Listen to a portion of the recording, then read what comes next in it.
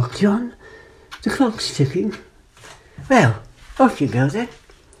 Um, how did you find the meeting? How did you find him?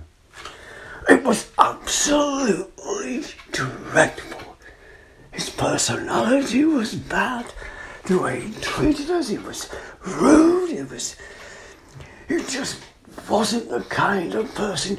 In fact, I absolutely loathed the way he was. He made me feel so uncomfortable. But, you know, it was absolutely fantastic. The way he was, he, he treated everybody with the same respect as you, as you would expect in a meeting. He was kind and warm and he, he was, yeah, he had a few jokes and that. He was really nice.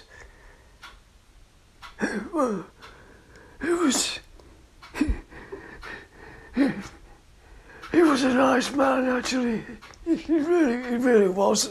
You could see he was the way he was. It's such a shame, you know. Such a shame.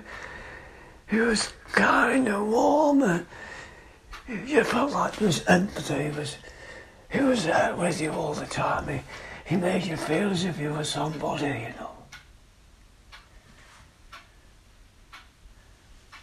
Well, I suppose he was all right, really, you know. It shouldn't have happened, but I mean, there he is now. You can't change it, you know. But the meeting itself was as, as you would expect, you know, a man of his stature and what have you, but